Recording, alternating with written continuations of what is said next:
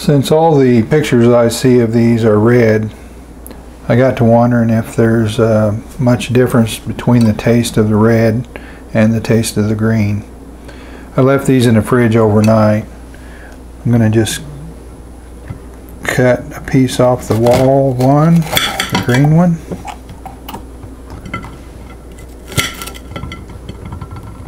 And I'm going to cut a piece off the red one and we're going to compare.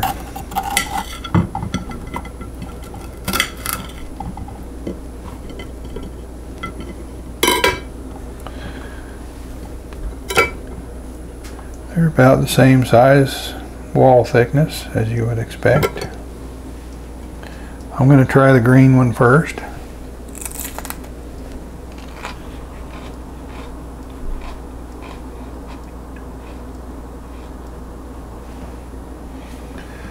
That's got that good sweet bell taste. I liked it. Now I'll try the red one.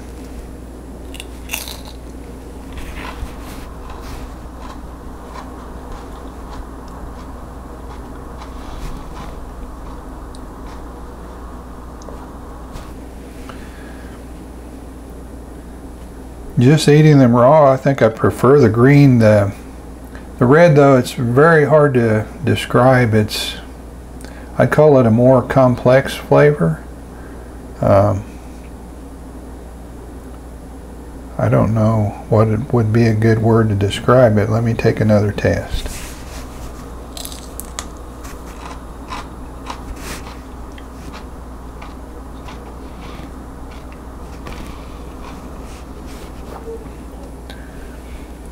It's good though. Either way, they're good. But uh, I'd say the red is maybe just a tiny bit milder. Doesn't have that uh, sweet bell taste that you get with the green.